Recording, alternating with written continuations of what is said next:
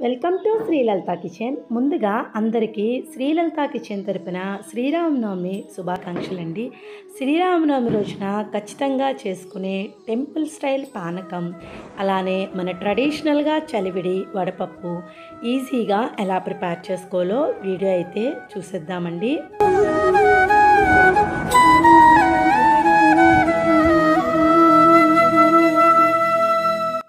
ఆలస్యం చేయకుండా ఈ రెసిపీస్ ఎలా చేయాలో వీడియోలోకి అయితే వెళ్ళిపోదాము.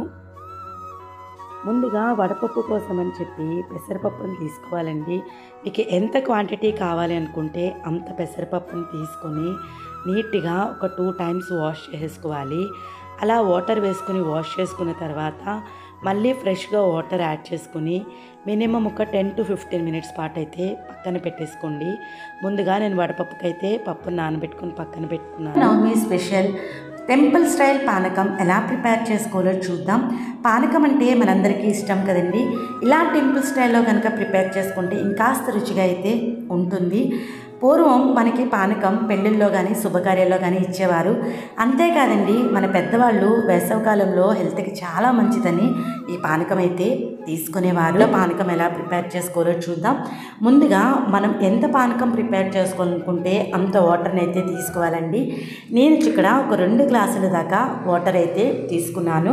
ఒక రెండు గ్లాసుల వాటర్కి సన్నగా గ్రేట్ చేసి పెట్టుకున్న బెల్లాన్ని ఒక స్మాల్ కప్ దాకా యాడ్ చేసుకుంటున్నాను. ఇక్కడ బెల్లం అనేది మీ స్వీట్నెస్ని బట్టి అయితే యాడ్ చేసుకోండి. స్వీట్ ఎక్కువ ఇష్టపడవలసి కొద్దిగా ఎక్కువ తీసుకోండి. తక్కువ ఇష్టపడవలైతే కనుక కాస్త తక్కువ తీసుకున్నా పర్వాలేదు. ఇలా మనం స్పూన్తో బాగా మిక్స్ చేసేసుకుని ఇది కరిగేంత వరకు కూడా దీని పక్కనైతే పెట్టేసుకోండి. టెంపుల్ స్టైల్లో పానకంలో రావాలి అంటే ఖచ్చితంగా ఇప్పుడు నేను చెప్పిన స్టెప్స్ అయితే ఫాలో అవ్వాలండి. దానికోసం అని చెప్పి ఇలా రోల్ తీసుకుని దాంట్లోకి కొద్దిగా దాల్చిన చెక్క బ్రేక్ చేసి వేసుకోండి. అలానే ఒక మూడు లేదా నాలుగు లవంగం మగ్గులు వేసుకోవాలి. పానకానికి అత్యంత బాగా టేస్ట్ ఇచ్చేది మిరియాలండి దానికోసం అని చెప్పి మిరియాలు మీ ఘాట్నెస్ని బట్టి యాడ్ చేసుకోండి. నేనైతే ఇక్కడ ఒక స్మాల్ టీ స్పూన్ దాకా తీసుకున్నాను. మంచి ఫ్లేవర్ రావడం కోసం అని చెప్పి కొద్దిగా ఇలాచి. ఇవన్నీ వేసుకుని చక్కగా మెత్తటి పౌడర్ అయితే చేసుకోవాలండి. మనం అప్పటికప్పుడు దంచి వేసుకోవడం వల్ల చాలా మంచి ఫ్లేవర్ వస్తుందండి. పానకం అయితే చాలా టేస్టీగా ఉంటుంది.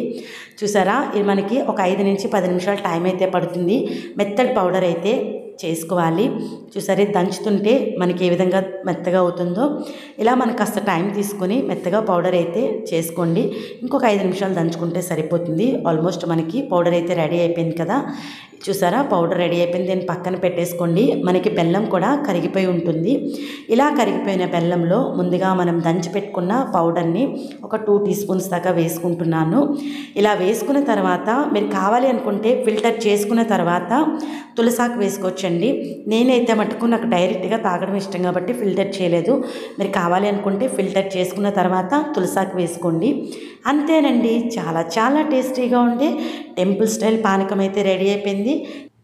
శ్రీరామనవమికి ఖచ్చితంగా చేసుకునే చలివిడి ఈజీ వేలో ఎలా ప్రిపేర్ చేసుకోవాలో చూద్దాం. ముందుగా చలివిడి ప్రిపేర్ చేయడానికి బియ్యాన్ని కడిగేసి ఆరబెట్టి మనం గ్రైండర్కి వేసుకుంటే తడివరి పిండి రెడీ అవుతుందండి. దీన్ని వచ్చి నేను ఇక్కడ ఒక కప్ దాకా వరిపిండి తీసుకున్నాను. మనం ఏ కప్పుతో అయితే వరిపిండి తీసుకుంటామో అదే కప్తో ఒక హాఫ్ కప్ దాకా గ్రేట్ చేసుకున్న బెల్లాన్ని వేసుకొని బాగా మిక్స్ చేసుకోవాలి. దీంట్లో మనకి వాటర్ అయితే ఎక్కువగా పట్టదండి. ముందుగా బియ్యం బెల్లం కలుపుకున్న తర్వాత కొద్దిగా వాటర్ యాడ్ చేసుకుని ఇలా మనం పిండిని అయితే కలుపుకోవాలి. మీరు కనుక వాటర్ ఎక్కువగా వేస్తే కనుక చలివిడి పలచనైపోయి రాదండి. కొంచెం వాటర్ యాడ్ చేసుకుని పిండినైతే కలుపుకోవాలి. చూసారా? చాలా కొద్దిగా వాటర్కే మనకి చక్కగా ముద్దలా రెడీ అయిపోయింది కదా. అంతేనండి చాలా ఈజీగా టేస్టీగా శ్రీరామనవమి స్పెషల్ చలివిడైతే రెడీ అయిపోయింది.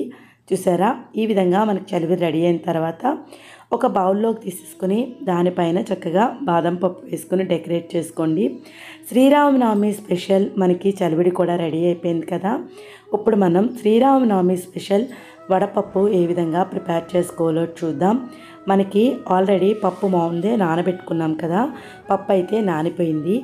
ఇలా నానిపోయిన పప్పుని ఏదైనా ఒక స్ట్రైనర్లోకి వాటర్ లేకుండా స్ట్రైన్ చేసుకోవాలి. నేను తక్కువ క్వాంటిటీ కాబట్టి స్ట్రైనర్ ఏమీ యూజ్ చేయలేదు. ఈ విధంగా స్ట్రైన్ చేసుకున్న పప్పులో కొద్దిగా షుగర్ వేసుకొని మిక్స్ చేసుకోండి. వడపప్పు అనేది ఇంకా రుచిగా ఉంటుంది. చూసారా? చాలా టేస్టీగా ఉండే వడపప్పు కూడా మనకి రెడీ అయిపోయింది. శ్రీరామనవమికి ఈ రెసిపీస్ అన్నీ కూడా మీరు కూడా ట్రై చేసి ఎలా వచ్చిందన్నది మీ కామెంట్స్ అయితే నా కామెంట్ సెక్షన్లో తెలియజేయండి. మీ అందరికీ నా వీడియో నచ్చింది అనుకుంటున్నాను. Thanks for watching my video please like comment share subscribe my channel